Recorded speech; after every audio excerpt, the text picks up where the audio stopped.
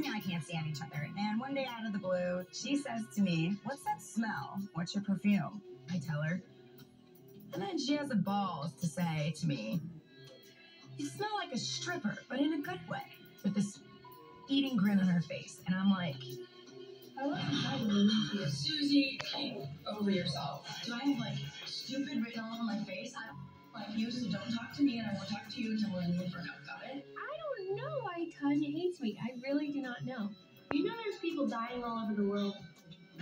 What does that have to do with you being such a bitch? You get mad about dumb stuff, man. People are dying.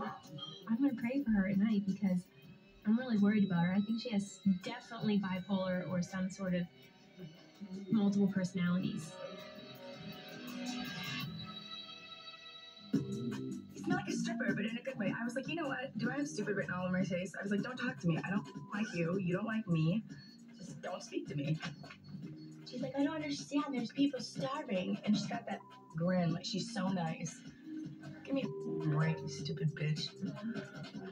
And by the way, how would you know what strippers smell like anyway? If she thinks I'm all bothered by it, she better think twice. I don't want anything to do with her. I don't trust her. I don't like her. I don't like her passive way of coming at me. I just can't stand her, so I want her to go home. Oh well. She'll be gone soon if I have anything to do with it.